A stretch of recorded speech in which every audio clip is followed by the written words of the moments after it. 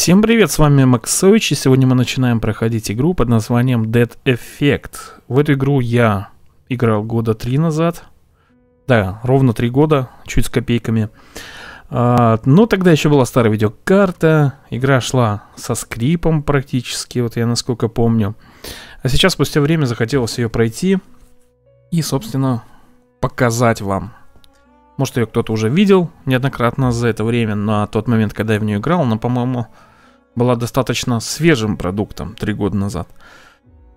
Сейчас уже, конечно, вышла вторая часть за это время, так что, может, мы и вторую попробуем, но это посмотрим по ходу дела, пока ничего обещать не буду. Надо сначала с этой частью разобраться, уж потом видно будет.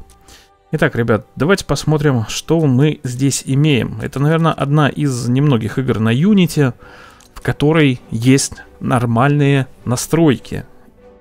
То есть, смотрите, у нас есть скорость поворота, акселерация мыши и сглаживание мыши. Где вы такое видели в современных Unity играх? Там ни хрена никогда не дают мышь настроить. Ни кнопки, ничего. Здесь же прям вот на удивление игра исключение, если так можно сказать. Настраивается, то есть все достаточно а, тонко. Даже есть отдельные регуляторы громкости для диалогов, музыки и соответственно, общая громкость. Прям игра меня этим поразила, так сказать. А, уж многие, кто, наверное, меня постоянно смотрят, знают то, что я уж прям к движку Unity достаточно так негативно отношусь, потому что на нем вечно делают недоделанные вот эти вот инди, такие вот трэш-игры, вечно без настроек, без всего. А здесь все замечательно в этом плане. Так, ну да ладно, собственно. А, давайте-ка к самому процессу, наверное. Да, настройки клавиш есть прям здесь в игре. А, в некоторых играх они вынесены как бы отдельно в лаунчере там. А, значит, дополнительно играть. Что у нас здесь еще есть? Здесь можно посмотреть достижения, планшеты, которые мы а, подбираем по ходу игры. И можно, в общем, почитать все то, что мы, если пропустили что-то, чтобы вникнуть суть игры более детально. Пользовательское соглашение, политика конфиденциальности, кредита и так далее. Достижения, но у меня сейчас оверлей Steam отключен, поэтому это все не работает. Так, профили. Ну и, собственно, давайте уже приступим, что ли, потихонечку. А, да, здесь можно, э, что мне понравилось, здесь можно отдельно выбирать миссии. Здесь даже вот прям написано, если вам понравилась одиночная игра, и вы бы хотели повторить некоторые миссии, это для вас. То есть вот Реально, я тут э, немножко попроходил. А, вот как видите, 4 миссии, да, первые. Всего можно посмотреть, сколько миссий, очень удобно. 12 миссий, не так уж и много, на самом деле. Я думаю, то, что эту игру можно пройти вот буквально за один вечер, засесть и... Ну, за два, ладно, за один, может, уже устанешь ее проходить, но вот за два вечера можно точно ее пройти. Есть э, выживание, что мне понравилось, э, набивать на это можно деньги, а, которые тратить на прокачку оружия по, по основному сюжету. То есть надоело вам играть по сюжету, вы захотели дополнительно вот эти миссии выполнять, получить денег, чтобы прокачать оружие и, например, проходить дальше. Блин, офигенная тема, вообще удобно. Биологическая опасность. Бонус кредиты и золото. Золото, если честно, не знаю на что используется, вот как ни странно. Ну, я думаю, по ходу дела мы разберемся. Вот, так. Ну, в общем, давайте уже, собственно, начинать. Заболтался я тут. Давайте проходить историю. Начнем новую игру, естественно. И у нас на выбор два персонажа. А, Гуннар Дэвис и Джейн Фрей. В чем отличие? А, собственно, у нас отличие только в стартовом оружии. Джейн имеет э, дробовик Вельвет 23R и Леваль... Блин, почему револьвер? Револьвер. Револьвер, да, надо запомнить. А имеет у нас штурмовая винтовка и пистолет Стиг P320. Собственно, это же можно потом и выбрать. Так что, по большому счету, не важно, кого вы выберете. Но я вот играл за Джейн. И сейчас, думаю, буду за нее играть, в принципе. А, да, помню три года назад вот эту галочку почему-то здесь нельзя было поставить. Ну, Игра, видимо, еще недоработанная была. Что-то здесь у меня не ставилось, я помню. Сложность средняя и поехали. Вы действительно хотят, хотите начать новую игру? Конечно, хотим.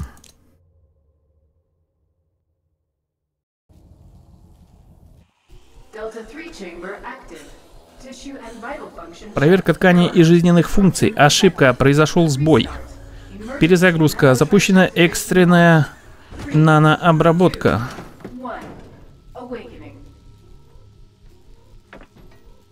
Итак, мы, значит, из какой-то капсулы вылезли. Цель использовать медстанцию.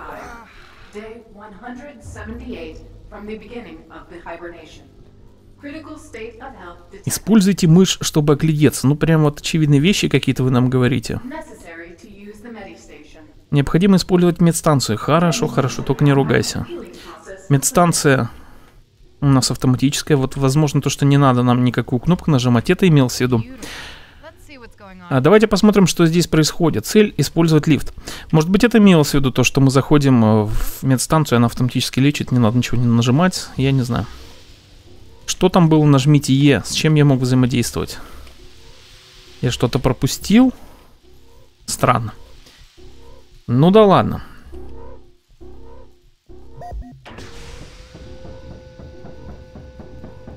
Найдите оружие.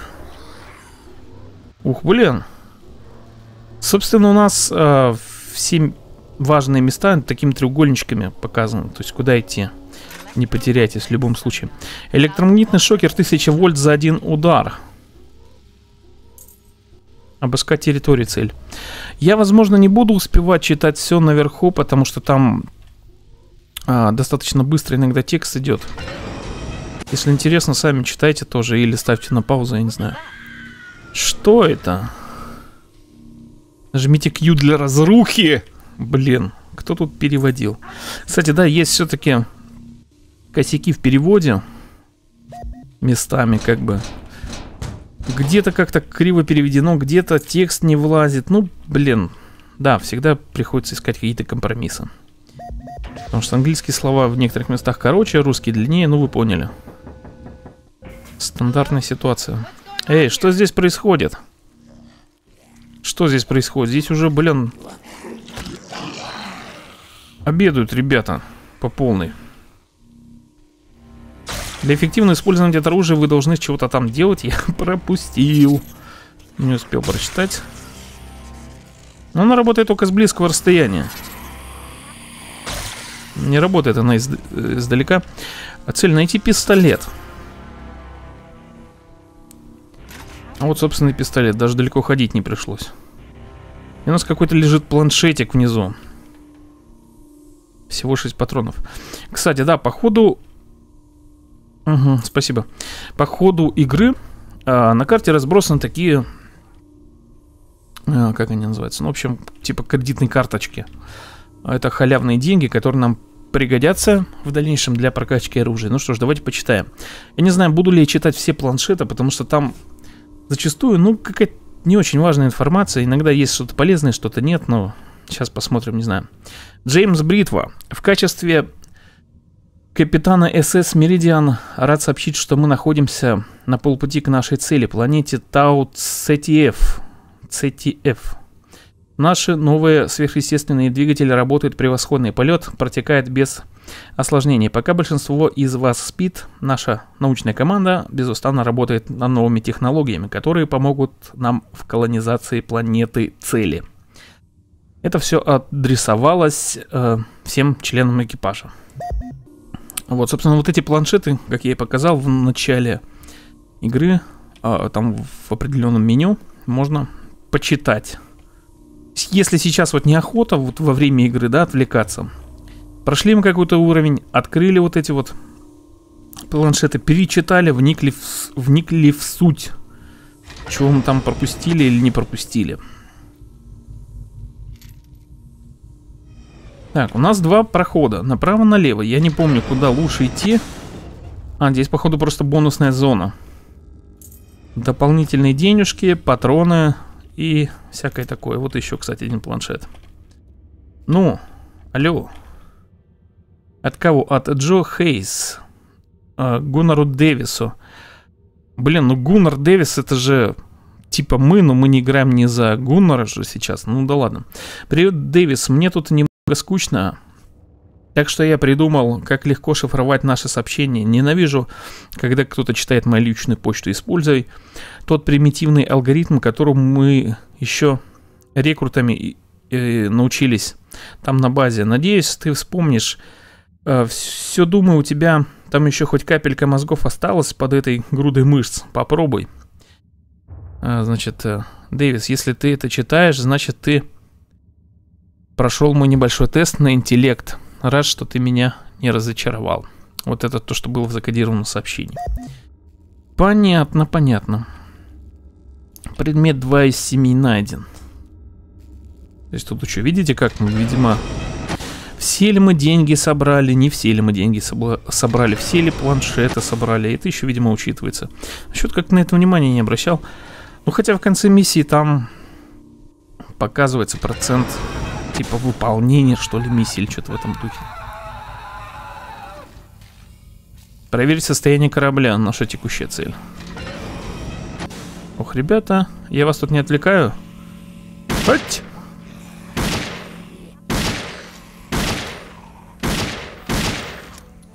Прикольно.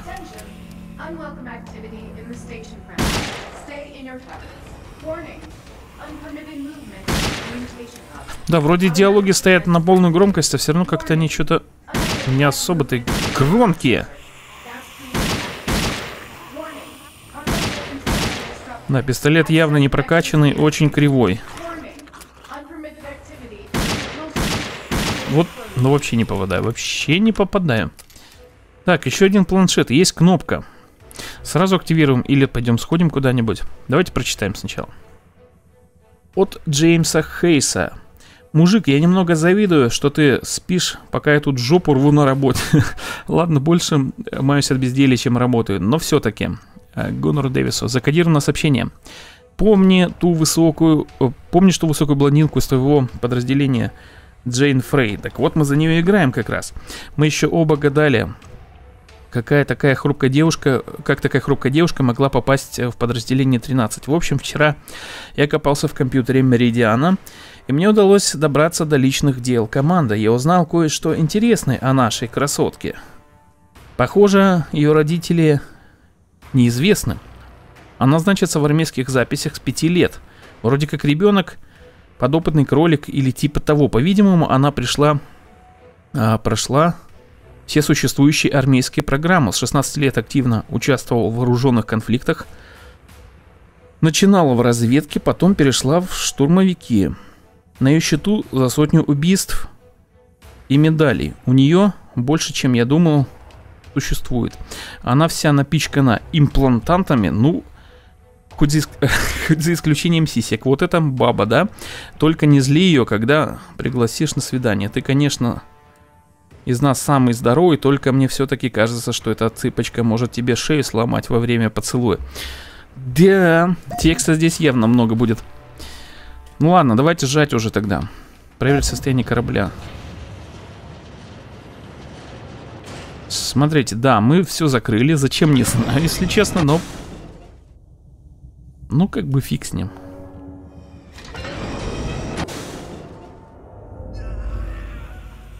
Понятно. Еще один планшет успеем прочитать, нет? А, от Генриха Вагнера, от имени научной команды ЕСС Меридиан хочу сообщить, что мы завершили исследование влияния сверхъестеств... Э, сверхсветовых двигателей на команду и оборудование. Хорошая новость в том, что двигатели не оказывают негативного влияния на здоровье человека. Но мы выяснили, что двигатель негативно влияет на некоторые конструкционные материалы корабля. В данный момент совместно с э, командованием корабля мы пытаемся решить этот вопрос. Мы считаем, что данное обстоятельство не вызовет никаких проблем. Адресовано всем членам экипажа. Вот как-то так.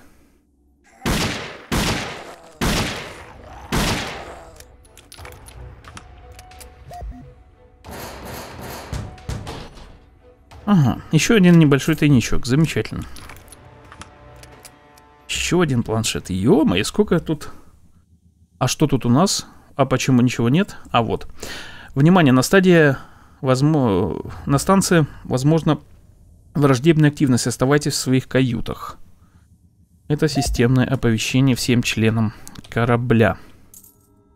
Так, все. Это был как бы небольшой тайничок. А, можно возвращаться.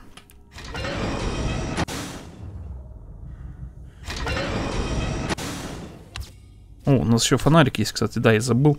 А в принципе он что-то здесь особо пока и не нужен. Я, наверное, поэтому про него и не вспомнил. Так, а мы откуда пришли? Ага. Это как бы конец миссии, видимо, да? Так, я уж что-то забыл. Если честно, но вот мы пока еще один тайничок нашли. Да, вот треугольничек указывает нам правильный путь, основной, так сказать, да? По ходу дела, по ходу миссии, которую нужно проходить. Ух, ребята. А у нас гранаты есть? Нет? Нет, у нас ничего нету. У нас есть вот такая штука. А нет, есть граната, мы где-то подобрали ее. Гранаты что-то какие-то не очень эффективные. Честно сказать, вот.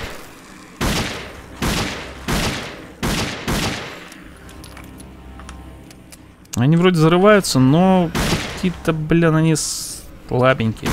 Я вот не помню, их можно прокачивать или нет. Но надеюсь, что можно.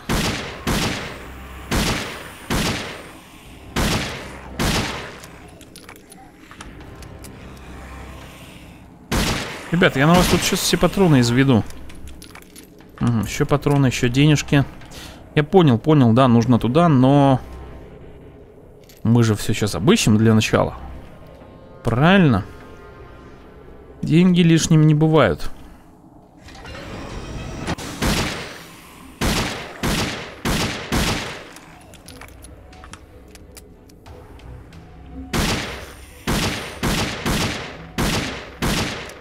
Да что ж такое, да. Пистолет явно надо прокачивать, но... Я его, наверное, не буду прокачивать. Лучше буду дробовичок какой-нибудь прокачивать, потому что он больше пригодится. Ага, еще один планшет. Ну-ка, ну-ка, что там у нас? От Джеймса Бритвы. Всем подразделениям команда профессора Вагнера обнаружила возможность потенциальной, э, потенциально опасной реакции взрывчатых веществ на сверхсветовой полет. Мы вынуждены убрать все опасные объекты с палуби корабля. Это касается и вашего оборудования. Какого вашего? А, с этого момента, чтобы избежать э, спонтанной детонации, все оружие и боеприпасы будут храниться в специальных камерах. Это для подразделения 13. Собственно, как раз мы и относимся, насколько я понял, к подразделению 13, потому что мы за Джейн играем. Система автоматического отчета о состоянии. Враждебная деятельность на станции. Активирован сектор 13. Результат отсутствует. 7 сентября 2045 года. Странно.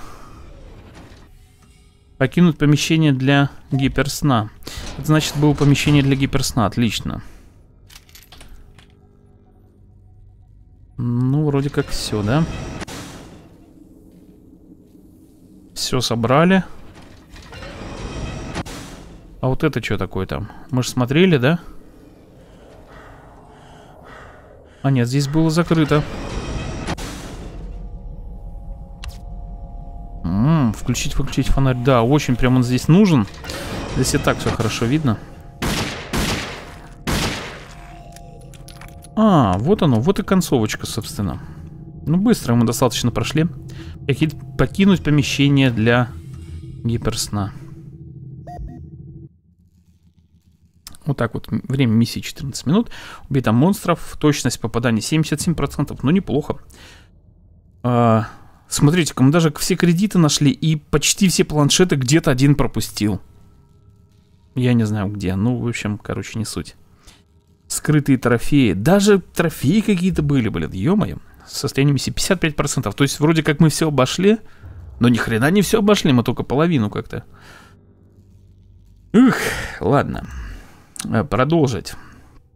И, собственно, у нас здесь вот как раз одна из самых интересных частей, так скажем. У нас есть пистолет. Мы его можем как-то сейчас прокачивать. Или наоборот вообще ничего не делать. Я думаю, мы сейчас не будем его прокачивать. Лучше сэкономим деньги. Потому как дальше у нас будет дробовичок.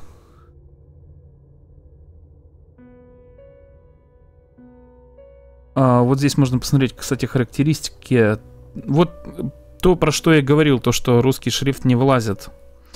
Вот в это все. Вот что за время перезарядки? Чего там 3,4 секунды? Или что-то в этом духе, да? Точность попадания 70%. А, вот оно что, Михалыч, ребятки. Вот есть какое-то оружие, которое только за золото. Вот куда золото можно применять. А я-то думал, какого хрена? Куда золото девать? Вот видите, давно не играл и позабыл уже все. У, да тут дофига. А это 35 золота. То есть некоторое оружие за денежки, а некоторое оружие только за золото. Золото, оно достаточно... Ну, как бы редко выпадает из зомбарей. Вот здесь можно модифицировать повреждения, пробивную способность, время перезарядки и точность. А также можно закупиться патронов, э, патронами на следующий уровень, что, собственно, мы сделаем. Потому что это стоит относительно недорого, но... Ну и пару гранат купим. Вот, в общем, как-то так. Я думаю, я не знаю, здесь сохранение уже автоматически завершилось или можно выходить. По-моему, можно выйти. Ладно, давайте, наверное, на этом закончим. Всем удачи, всем пока и до новых выпусков.